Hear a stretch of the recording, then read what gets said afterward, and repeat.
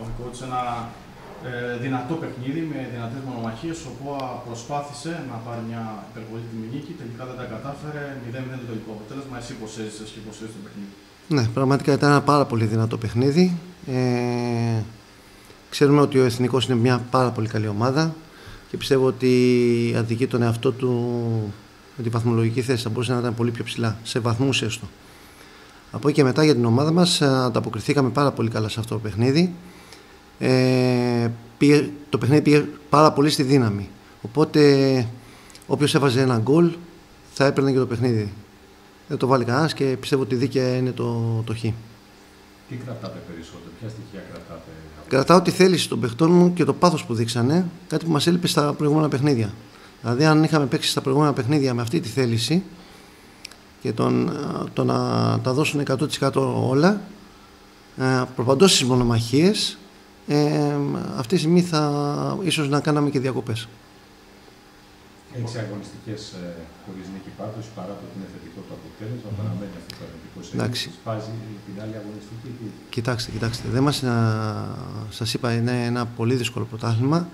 Ε, πιστεύω ότι πολύ γρήγορα θα είμαστε και μαθηματικά σωμένοι στην κατηγορία. Ε, βλέπετε ότι όλα τα παιχνίδια, όπως έρχονται τα αποτελέσματα, βλέπετε ότι αλλάζουν κάθε στιγμή τη βαθμολογία. Μακάρι να πάμε, εμείς κοιτάμε μόνο την ομάδα μας και δεν μας ενδιαφέρουν τι κάνουν οι άλλοι. Κόουτς Σοπαλίας ένα πολύ δυνατό παιχνίδι, ένα σχόλιο για το μάτς.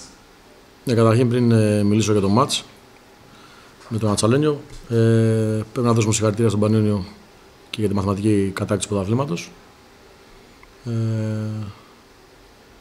νομίζω ότι εδώ μεγάλη σταθερότητα και φτάσαμε σε ένα τίτλο τον οποίο τον θέλαμε κι εμείς αλλά δεν άντεξαμε να μείνουμε όσο κοντά θα έπρεπε καθόλου ειδικά στο δεύτερο γύρο. Συγχαρητήρια λοιπόν στον Πανιόνιο. Από εκεί και πέρα ήρθαμε να παίξουμε σε ένα παιχνίδι, σε ένα μάτσο το οποίο ξέραμε ότι σε μια δύσκολη έδρα, παραδοσιακά δύσκολη έδρα, με ένα γήπεδο το οποίο έχει ιδιαιτερότητες. Νομίζω ότι προσαρμοστήκαμε πάρα πολύ καλά. Ελέγχαμε το μάτς καθ' όλη τη διάρκεια. Ε, καταφέραμε να δημιουργήσουμε, να βγάλουμε ορθολογικές φάσεις μες στο γήπεδο, κρατώντας τον Ναζαλένιο μακριά ότι είναι ουσιαστικά από την περιοχή μας.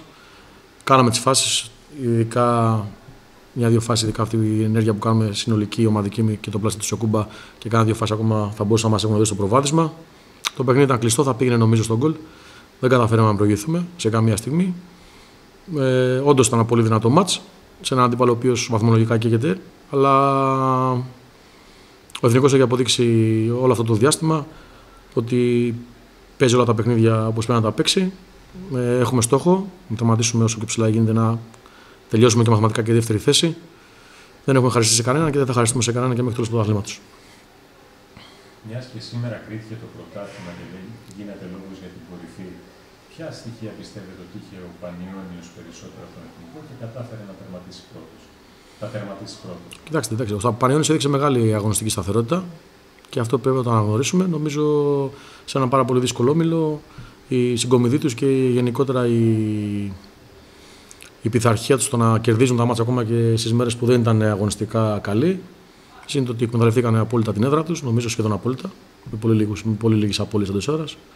Ε, νομίζω ότι έκανε για αυτούς τη διαφορά. Για τον εθνικό τώρα το, το μέλλον, πέρα των τεσσάρων αγωνιστικών που Το μέλλον των εθνικών αυτή τη στιγμή είναι βραχυπρόθεσμο. Ασχολούμαστε με τις τέσσερις αγωνιστικές. Για ό,τι υπόλοιπο πρέπει να μιλήσουν πρώτα καθαρά οι διοικούντες και μετά εμείς. Εμείς ασχολούμαστε με αυτές τις τέσσερις αγωνιστικές. Έχουμε και ένα τελικό κυπέλου και θέλουμε να τερματίσουμε όσο πιο ψηλά γίνεται.